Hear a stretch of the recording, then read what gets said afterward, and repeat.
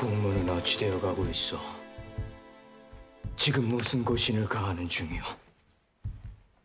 압슬령을 가하고 있사옵니다.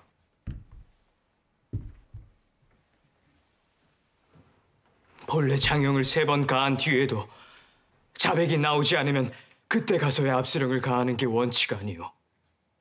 한데 어찌하여 압수령부터 가하는 것이오?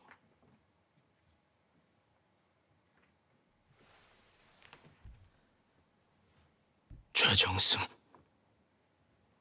예, 전하. 영의정께 내 말을 전해주시오. 이제 그만 자백하라 전하시오. 절대로 벗어날 수 없다고 전하시오. 아무도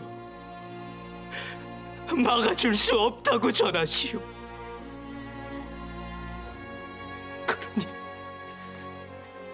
이제 그만 고통에서 벗어나라 전하시오.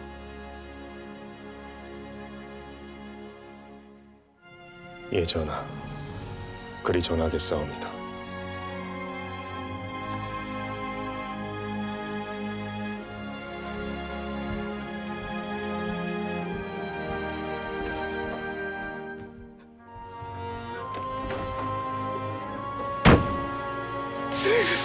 Ah!